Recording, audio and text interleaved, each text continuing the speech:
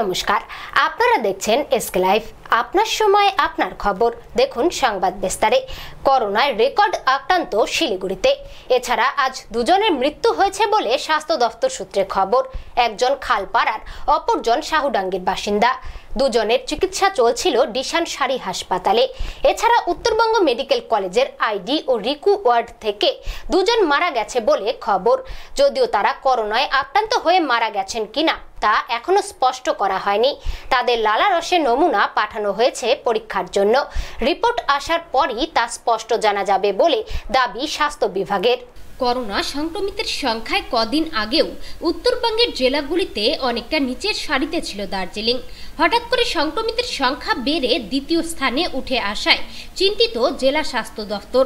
তবে আক্রান্তের নিরিখে উত্তরবঙ্গের জেলাগুলিতে দ্বিতীয় স্থানে থাকলেও মৃত্যুর সংখ্যায় একেবারে প্রথম। ইতিমধ্যেই অন্তত পাঁচজনের মৃত্যু হয়েছে এই জেলায়। দার্জিলিং জেলায় বাইশে জুন পর্যন্ত আক্রান্তের সংখ্যা ছিল তিনশো আটচল্লিশ। এর মধ্যে করোনা মুক্ত হয়েছেন একশো আশি জন। এখনও করোনার সঙ্গে লড়াই করছেন একশো তেষট্টি জন। দার্জিলিং সংলগ্ন পাহাড়ি রাজ্য, সিকিমেও বাড়ছে করোনা সংক্রমণের সংখ্যা। মঙ্গলবার পর্যন্ত সিকিমে উনপঞ্চাশ জন করোনা আক্রান্ত হাসপাতালে চিকিৎসাধীন। যদিও এখনও পর্যন্ত করোনাকে হারিয়ে সুস্থ হয়েছেন উনত্রিশ জন। কালিয়াগঞ্জ ব্লক স্বাস্থ্য কেন্দ্রের সাতজন মহিলা, স্বাস্থ্যকর্মী করোনায় আক্রান্ত। পুলিশ কর্মীর পর এবার স্বাস্থ্যকর্মীদের আক্রান্তের খবরে উদ্বেগ জেলার স্বাস্থ্য মহলে এ নিয়ে উত্তর দিনাজপুর জেলায় মোট করোনা আক্রান্তের সংখ্যা দাঁড়াল দুশো চুয়ান্ন জনে। এর মধ্যে করোনা ভাইরাসকে জয় করে দুশো জন রোগী বাড়ি ফিরে গিয়েছেন।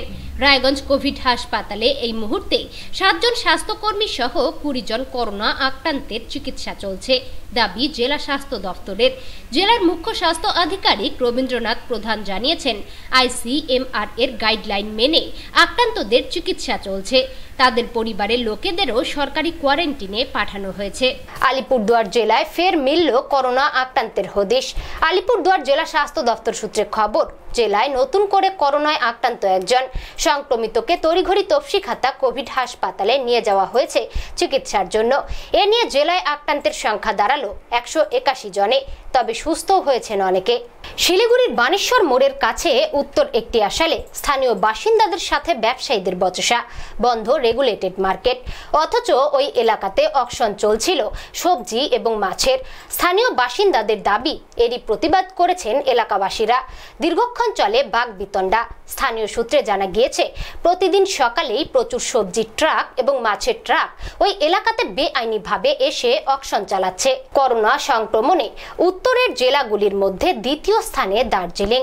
গতকালের পাওয়া বুলেটিনের নিরিখে মালদার পরেই দার্জিলিং জেলার স্থান। উত্তর দিনাজপুর, জলপাইগুড়ি ও কুচবিহার জেলাকে নিচের সারিতে ফেলে দিয়েছে দার্জিলিং। এই জেলায় ইতিমধ্যেই সংক্রমিতের সংখ্যা সাড়ে তিনশো জনেরও বেশি। করোনা সংক্রমিতের সংখ্যায় কদিন আগেও উত্তরবঙ্গের জেলাগুলিতে অনেকটা নিচের সারিতে ছিল দার্জিলিং। হঠাৎ করে সংক্রমিতের সংখ্যা বেড়ে দ্বিতীয় স্থানে উঠে আসায় চিন্তিত জেলা স্বাস্থ্য দফতর। তবে আক্রান্তের নিরিখে উত্তরবঙ্গের জেলাগুলিতে দ্বিতীয় স্থানে থাকলেও মৃত্যুর সংখ্যায় একেবারে প্রথম। ইতিমধ্যেই অন্তত পাঁচজনের মৃত্যু হয়েছে এই জেলায়। দার্জিলিং জেলায় বাইশে জুন পর্যন্ত আক্রান্তের সংখ্যা ছিল তিনশো আটচল্লিশ। এর মধ্যে করোনা মুক্ত হয়েছেন একশো আশি জন। এখনও করোনার সঙ্গে লড়াই করছেন একশো তেষট্টি জন। দার্জিলিং সংলগ্ন পাহাড়ি রাজ্য সিকিমেও বাড়ছে করোনা সংক্রমণের সংখ্যা। মঙ্গলবার পর্যন্ত সিকিমে উনপঞ্চাশ জন করোনা আক্রান্ত হাসপাতালে চিকিৎসাধীন। যদিও এখনও পর্যন্ত করোনাকে হারিয়ে সুস্থ হয়েছেন উনত্রিশ জন। মালদায় এসে করোনা আক্রান্ত পুলিশ কর্মীদের খোঁজ খবর নিলেন উত্তরবঙ্গের আইজি বিশাল গর্গ। বুধবার সকালে মালদায় পুলিশ কর্মীদের কর্মক্ষেত্রের সমস্ত পরিকাঠামো তদারকি করতে আসেন উত্তরবঙ্গের আইজি বিশাল গর্গ। এদিন মালদা শহরের পুলিশ লাইন এলাকায় স্যানিটাইজেশন মেশিনের উদ্বোধন করেন আইজি। পাশাপাশি করোনায় আক্রান্ত যেসব পুলিশ কর্মীরা পুরাতন মালদার কোভিড হাসপাতালে চিকিৎসাধীন, তাদের সঙ্গে মোবাইলে ভিডিও কনফারেন্সে লাইভ কথা বলেন আইজি বিশাল গর্গ। অসুস্থ পুলিশ কর্মীদের চিকিৎসা পরিষেবা কি রকম চলছে সে বিষয়েও খোঁজ খবর নেন। আজকে আমরা আমাদের মালদা জেলায় বিভিন্ন র্যাঙ্কের পুলিশ একটা করা হয়েছে অ্যাওয়ার করা হয়েছে রিগার্ডিং করোনা ভাইরাস একজন ডাক্তারবাবুকে কথা মালদা মালদা উনিও খুব ডিটেলে করেছেন করোনার ব্যাপারে। অনেক জিনিসগুলো যে হয়তো অফিসাররা জানতো জিনিসগুলো জানা গেছে। এবার সবাইকে বলা হয়েছে ওরাও গিয়ে ওখানে গিয়ে ওদের স্থানীয় লোকগুলোকে বুঝাবে পাবলিকের মধ্যে অনেক সময় ভুল বুঝাবুঝি হয়ে যায় সেগুলোকে ক্লিয়ার করবে এরকম একটা উদ্যোগ নেওয়া হয়েছে বা কিছু বেশ কিছুজন যে এরকম পরিচিত হয়েছে ওদের সঙ্গেও কথা বলা হয়েছে কিন্তু ওরা ডিমোরালাইজ নেই আর অনেক লোক রিকভারি করছে সোয়াব টেস্টের জন্য উত্তর দিনাজপুর জেলা স্বাস্থ্য দফতরকে আর মালদা মেডিকেলের উপর নির্ভর করতে হবে না। এখন থেকে রায়গঞ্জ মেডিকেল কলেজ হাসপাতালে আরটি পিসিআর ল্যাব চালু করার অনুমোদন দিয়েছে আইসিএমআর। চলতি সপ্তাহেই রায়গঞ্জ মেডিকেল কলেজ হাসপাতালে সোয়াব পরীক্ষা চালু হয়ে যাবে। মেডিকেলের অধ্যক্ষ দিলীপ পাল জানিয়েছেন, মঙ্গলবার বিকেলে আইসিএমআর এর ছাড়পত্র পাওয়া গিয়েছে। নাইসেট থেকে কিট চলে এলেই সেখানে সোয়াব টেস্ট শুরু করে দেওয়া হবে।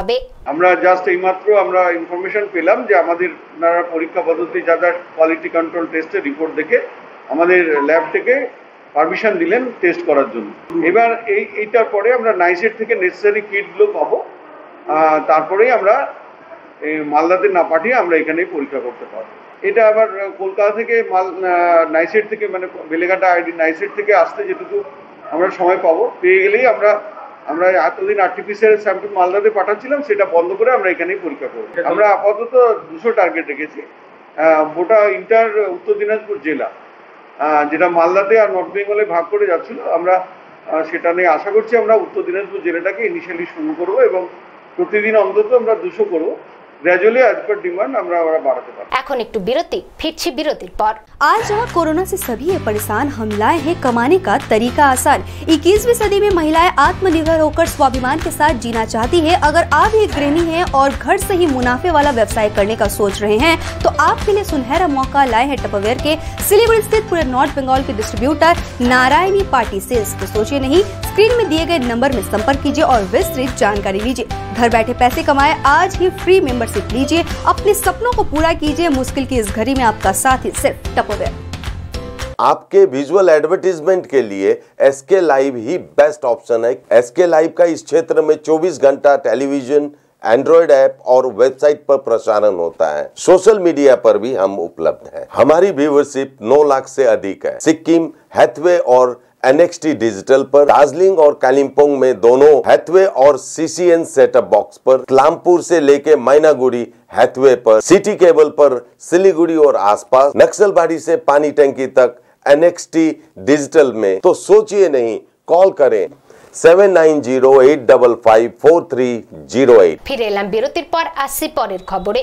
শিলিগুড়ি মেট্রোপলিটন পুলিশ সম্প্রতি শিলিগুড়িতে বিভিন্ন জায়গায় চুরির ঘটনার তদন্তে নেমে কয়েকজন দুষ্কৃতীকে গ্রেফতার করেছে। তাদের কাছ থেকে চুরি করা মোবাইল ফোন, সোনার গয়না সহ যাবতীয় সামগ্রী উদ্ধার করা হয়েছে, দাবি পুলিশের। বুধবার শিলিগুড়ি থানায় এক সাংবাদিক বৈঠক করেন ডিসিপি নিমা নরবু, ভুটিয়া ও এসিপি স্বপন সাহা। সেই বৈঠকে একথা জানিয়েছেন পুলিশের কর্তারা। তারা জানান এখনও বেশ কিছু মামলার তদন্ত চলছে। খুব শীঘ্রই এই সব মামলায় পুলিশ অভিযুক্তকে ধরতে সফল হবে। সাংবাদিক বৈঠকে east zone DCP Nima Norbu, Bhutia জানান, সম্প্রতি শহরে দু তিনটি বড় বড় চুরির ঘটনা প্রকাশ্যে এসেছে। তদন্তে নেমে ইতিমধ্যে পাঁচজনকে পাকড়াও করা হয়েছে। চুরি যাওয়া সামগ্রীও একে একে বাজেয়াপ্ত হয়েছে। থানা অন্তর্গত যে লাগানো যে জায়গাগুলো আছে, আপনার এখানে আপনার দু তিন মাস দু তিন মাস ধরে আপনার চুরি হচ্ছিল অস্টেট বা আপনার এটা ওই আমার দোকানে চুরি এটা কন্টিনিউ হচ্ছিল। তারপর আমরা ইনভেস্টিগেশন চলছিল, কালকে রাতে আমরা খবর পাই, খবর পেয়ে আপনার প্রথমে দুজন ছেলেকে ধরি। দুজন ছেলেকে ধরার পর তারপর যখন আমরা জেরা করি জেরা করার পর আমরা তখন অনেক কটাই কেস যেমন আপনার জিটিএস ক্লাবে হয়েছিল আপনার ক্যারম বোর্ড হয়েছিল তারপর টিভি হয়েছিল তারপর ইলেকট্রিক্যাল শপে আপনার ফ্যানগুলো যত হয়েছিল তারপর পান দোকানে যে বিড়ি সিগারেটও হয়েছিল চুরি হয়েছিল। সেইগুলো আমরা একটা আরও একজন রিসিভার যে ছিল তারা রিসিভারকে দিয়েছিল চুরি টুরি করার পর তারপর ওই তিনজনকে ধরি তারপর এইসবগুলো আপনার রিকভার হয়ে যায়। আর এই ছাড়াও আমাদের আপনার একটা রিসেন্টলি জানেন আপনার একটা অঞ্জলি জুয়েলার্সে আপনার ভালো একটা চুরি হয়েছিল আপনার। Around twenty seven lakhs worth jewellers চুরি হয়েছিল সেখানেও আমাদের কিন্তু একটা মোটামুটি সবকটাই রিকভারি হয়ে গেছে। এই জিনিসটা ধরা পড়ে গেছে সেখানেও রিকভারি হয়ে গেছে। তারপর হচ্ছে আপনারা জানেন, এটা দু তিন মাস আগে এটা আপনার কেট মারি হয়েছিল শিবগুড়ি থানাতে। যেখান থেকে আপনার একজন লোকের কাছ থেকে আপনার, যে আপনার বাড়িতে বাইরে একটা চার লাখ টাকা ব্যাগ রেখেছিল, সেখানেও আপনার অ্যাকিউজ ধরা পড়ে গেছে দুজন। সেখানেও আপনার যে চার লাখ টাকা ছিল, সেখানে আমরা তিন লাখ আশি হাজার টাকা উদ্ধার করতে পেরেছি। আর রিসেন্টলি আপনার খালপুরাতে জানেন একটা বাড়িতে আপনার তিন লাখ টাকা চুরি হয়েছিল আপনার। যেখানে জুয়েলারিজ ইনক্লুডিং আপনার কিছু টাকাও চুরি হয়েছিল। সেখানেও আমরা ওই তদন্ত তদন্ত করে ওখানেও একজন ধরা হয়েছে। একজন ধরার পর আপনার দক্ষ এন্টায়ার যে আপনার যে থেফট অ্যামাউন্ট ছিল, সেটা আপনার রিকভার হয়েছে। আর আপনার এই ছাড়া আপনার এটা থানা এরিয়াতে আপনার বিভিন্ন টাইমে আপনার দশটা মোবাইল আপনার চুরি হয়েছিল মিসিং হয়ে গেছিল। সেটা আমরা মিসিং কমপ্লেন এখানে করেছিলাম মিসিং কমপ্লেন করার পর সেটা আপনার তদন্ত চলছিল, সেটা আপনার এটা টেকনিক্যাল ইনভেস্টিগেশন হোক, যাই হোক, সেটা চলছিল। সেটাও আমরা কিন্তু এটা দশটা মোবাইলটা আজকে উদ্ধার করতে করোনায় আক্রান্ত হয়ে মৃত্যু হলো তৃণমূল বিধায়কের। বয়স হয়েছিল ষাট বছর। তেইশে মে থেকে তার চিকিৎসা চলছিল বাইপাসের ধারে একটি বেসরকারি হাসপাতালে। আজ ভোরে মাল্টি অর্গান ফেলিওরের কারণে মৃত্যু হয় তার। জ্বর নিয়ে তেইশে মে ভর্তি হয়েছিলেন কলকাতার উডল্যান্ড হাসপাতালে। সোয়াবের নমুনা পরীক্ষা হলে রিপোর্ট পজিটিভ আসে। এরপর তাকে স্থানান্তরিত করা হয় বাইপাসের ধারে ওই বেসরকারি হাসপাতালে। সেখানে কিছুদিন আগে তার শারীরিক অবস্থার উন্নতিও হয়, কিন্তু পুরোপুরি সুস্থ হননি সেখানেই চিকিৎসা চলছিল। গতরাতে ফের অবস্থার অবনতি হয়। অনেক চেষ্টার পরও তাকে আর বাঁচানো যায়নি। বিধায়কের সংস্পর্শে আসায় করোনায় আক্রান্ত হন তার দুই মেয়েও। তাদেরও চিকিৎসা চলছে। বিধায়কের মৃত্যুতে শোক প্রকাশ করেছেন মুখ্যমন্ত্রী মমতা বন্দ্যোপাধ্যায়। তার মৃত্যুতে শোক প্রকাশ করেছেন রাজ্যপাল জগদীপ ধনকরও বিদ্যুৎ পৃষ্ঠ হয়ে মৃত্যু হলো হাতির। কাল রাতের ঝড়ের দাপটে পূর্ব মাদারিহাটের মনোজিৎ বর্মনের বাড়ির সামনে সুপারি গাছ উপড়ে পড়ে। ভেঙে পড়া গাছের ধাক্কায় ইলেকট্রিক তার ছিঁড়ে পড়েছিল। আজ ভোর চারটে নাগাদ জলদাপাড়া জাতীয় উদ্যান থেকে হাতি বেরিয়ে পূর্ব মাদারিহাটের মনোজিৎ বর্মনের বাড়িতে ঢুকছিল। সেখানেই সুপারি গাছের সাথে ছিঁড়ে পড়া তারে বিদ্যুৎ পৃষ্ঠ হয়ে মৃত্যু হয় হাতিটির। প্রাথমিক অনুমান বনকর্মীদের। উত্তরবঙ্গের স্পেশাল টাস্ক ফোর্সের অভিযান। হাতে নাতে গ্রেফতার প্যাঙ্গুলিন সহ রায়গঞ্জ ব্লকের বৈকুণ্ঠপুর জঙ্গল লাগোয়া মান্তাদারি গ্রামের বাসিন্দা ফজনু মোহাম্মদ নামে এক পাচারকারী। বন দফতর সূত্রে খবর, দীর্ঘদিন যাবৎ ফজনু জঙ্গলের বন্যপ্রাণী পাচার চক্রে জড়িত। মঙ্গলবার গোপন সূত্রে পাওয়া খবরের ভিত্তিতে তার বাড়িতে হানা দেয় বনকর্মীরা। আজ ধৃতকে আদালতে তোলা হয়। বিচারপতির নির্দেশে বন্য প্রাণীটিকে শিলিগুড়ির বেঙ্গল সাফারি জঙ্গলে ছেড়ে দেওয়া হয়েছে। শিলিগুড়ি মেট্রোপলিটন পুলিশের ট্রাফিক গার্ডের পক্ষ থেকে বুধবার সেফ ড্রাইভ, সেফ লাইফ এবং করোনা সতর্কতা চালানো হয়। এদিন শিলিগুড়ি ভক্তিনগর ট্রাফিক গার্ডের পক্ষ থেকে হ্যান্ড স্যানিটাইজার, মাস্ক ও সর্ষের তেল বিভিন্ন মানুষের হাতে তুলে দেওয়া হয়। করোনা সম্পর্কে কিছু সচেতনতা বার্তাও তুলে ধরেন। কর্মসূচিতে উপস্থিত ছিলেন ট্রাফিক দফতরের এডিসিপি ভক্তিনগর ট্রাফিক দফতরের আইসি সহ অন্যান্য পুলিশ আধিকারিকরা। আজকে এখানে যা আমার আগে থেকে চলছে প্রোগ্রামটা সেভ ড্রাইভ সেভ লাইফ ওটাই চলছে। আমার সেভ ড্রাইভ, সেভ লাইফ সঙ্গে একটু আরও ডাইমেনশন আজকে আমরা অ্যাড করেছি। ওটা আছে করোনার জন্য কিছু অ্যাওয়ারনেস করোনার জন্য প্রিভেন্টিভ মেজার্স এর মধ্যে আমরা কিছু মাস্কগুলো স্যানিটাইজারগুলো আর আর কিছু জিনিসপত্র ওর মধ্যে একটা ইম্পর্টেন্ট আছে সরষা তেল। আমরা এখানে কমিশনারেটে আমার মাননীয় সিপি স্যার যা আছেন, ওনার নির্দেশে আমরা দেখলাম অনেকটু দুটো, তিনটে কনস্টেবল যা কোভিড পজিটিভ হয়েছে, ও সরষা তেল নিয়ে একটু ট্রিটমেন্ট আছে, ওটা নিয়ে ঠিক হয়ে গেছে। এই জন্য সরষা তেল আরও আমরা ডিস্ট্রিবিউট করছি এর সঙ্গে। এখানে কিছু মাস্কগুলো ডিস্ট্রিবিউট হয়েছে ভক্তিনগর আমার ট্রাফিক গার্ড আছে। আর একটা র্যালি বের হয়েছে এখান থেকে। ও র্যালি আলাদা আলাদা জায়গায় দাঁড়াবে আর এই মাস্কগুলো আরও জিনিসপত্র যা আছে করোনার জন্য এটা ডিস্ট্রিবিউট করবে। এটাই আছে প্রোগ্রাম সরষা তেল যেটা আছে কাচ্চা সরষা তেল। এটাকে নাক মধ্যে দুটো তিনটো ড্রপ তারপরে ওটাকে ওটাকে মুড়ি মধ্যে মিক্স করে ইয়ার অন্যভাবে কাঁচা তেল, ওটাকে আপনি খাবেন। তাহলে যদি আপনাকে কোভিড লাইক সিমটমস হয়ে যাবে within twenty four to forty eight hours এটা দেখা হয়েছে, কি ঠিক হয়ে যায়। বেহাল রাস্তার প্রতিবাদে বিক্ষোভ দেখাতে গিয়ে স্থানীয় তৃণমূলের নেতা কর্মীদের হাতে প্রহিত হয়েছিলেন বিজেপির এক কর্মী। পাল্টা দুপক্ষই অভিযোগ জানায় চাচল থানায়। এরপরে ওই বিজেপি কর্মীকে গ্রেফতার করে পুলিশ। তারই প্রতিবাদ জানিয়ে বুধবার সকাল থেকেই চাচল থানা ঘেরাও করে বিক্ষোভ দেখান। উত্তর মালদার বিজেপি সাংসদ খগেন মুর্মু সহ দলের অন্যান্য নেতা কর্মীরা যদিও পুলিশের দাবি ঘটনার নিরপেক্ষ তদন্তের পাশাপাশি বাকি অভিযুক্তদের গ্রেফতারের আশ্বাস দেওয়ায় কয়েক ঘণ্টা পর বিক্ষোভ কর্মসূচি তুলে নেয় বিজেপি নেতৃত্ব। ওই যার বাবা মা, যার নাম রেখেছে হোদল, ওই হোদল ভোদলকেই দিন টেনেছেন। আর এই হোদল ভোদলকে টেনে আমাদের রাজ্য সরকার এবং কেন্দ্র সরকারের যে গাইডলাইন যে এই সময় সোশ্যাল ডিস্টেন্স মেনে কোনো অনুষ্ঠান করার, উনি চাচুরের থানাতে গিয়ে তার দলের কর্মীদেরকে নিয়ে গিয়ে সোশ্যাল ডিস্টেন্স তো দূরের কথা, তিনি যে সরকারের, যে পার্টি যে উনি এখন সরকার মানে কেন্দ্রীয় সরকার উনার ইয়েতে মানে কেন্দ্রীয় সরকারের পক্ষের উনি উনি সাংসদ। উনি যে সরকারকে যে থাপ্পড়টা মারলেন, সেটা সত্যি লজ্জার। আমাদের লজ্জাবোধ হচ্ছে যে এরকম একজন সাংসদ আমরা উত্তর মালদা থেকে নির্বাচিত করেছে উত্তর উত্তর মালদার মানুষ। চাচল থানাতে আমরা এসেছি। আমাদের ভারতীয় জনতা পার্টির কর্মী, আমাদের এই এলাকার যিনি কাজ করছেন, প্রসেনজিৎ শর্মা, তাকে অন্যায়ভাবে এখানকার এই তৃণমূল কংগ্রেসের দলদাস পুলিশ, তারা অ্যারেস্ট করেছে গতকাল। আমরা এই অ্যারেস্টের প্রতিবাদে আমরা সবাই এখানে এসেছি। প্রসেনজিৎ শর্মা, এখানকার যে রাস্তার বেহাল অবস্থা, এই রাস্তার বেহাল অবস্থার প্রতিবাদ করতে গেছিলেন। তো এটা আমরা দেখছি, চাচলে শুধু না, গোটা পশ্চিম বাংলাতে রাস্তার বেহাল অবস্থা। তৃণমূল কংগ্রেস শুধু লুটের জন্য তারা আছে।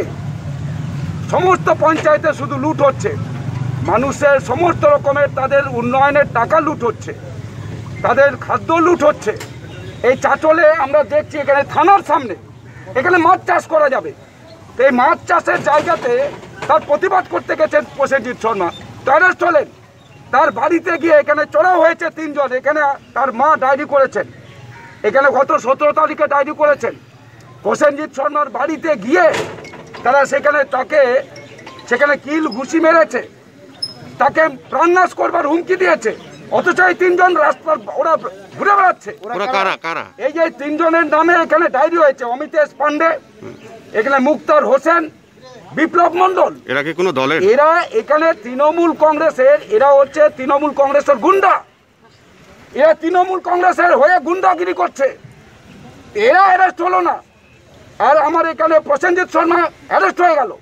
আমরা এখানে বিজেপির পক্ষ থেকে আমরা আইসিকে এটা বললাম যে আজকে ইমিডিয়েট এই তিনজনকে অ্যারেস্ট করা হোক।